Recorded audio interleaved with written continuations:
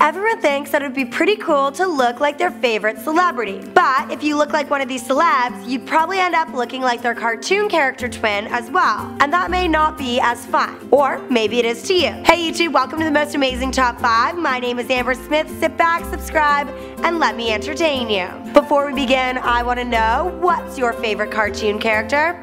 Let me know in that comment section down below. Let's jump into our list with the top 5 celebrities who look like cartoon characters. In the number 5 spot, we have Isla Fisher. With red hair and fair complexion, the actress could easily pass for Ariel the Little Mermaid. Not a bad cartoon character to look like, probably one most girls wouldn't mind being compared to. Now to see where she's hiding that mermaid tail. Up next in the number 4 spot, we've got Miley Cyrus. I think we're all wondering exactly what was running through Miley's head when she debuted This Do but now we can see where she got her inspiration from. The lovely and attractive Cynthia from Rugrats. Definitely one of my hairstyle idols too.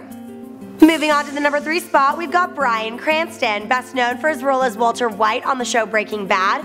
We wouldn't be surprised if he took on another familiar diddly role, that of Ned Flanders from The Simpsons. Ned on meth would not be boring. Next up at number 2 is Larry King. The famous talk show host shares his dry personality, his receding hairline, and his permanent scowl with that of the cartoon character Mr. Burns from The Simpsons. Between him and Bryan Cranston, we're almost ready to film a live-action Simpsons.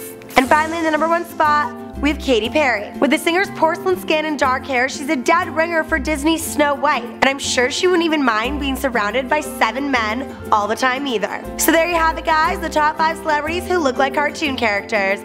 My name's Amber Smith, thanks for watching, don't forget to subscribe to this channel, and as always find me and follow me on Instagram.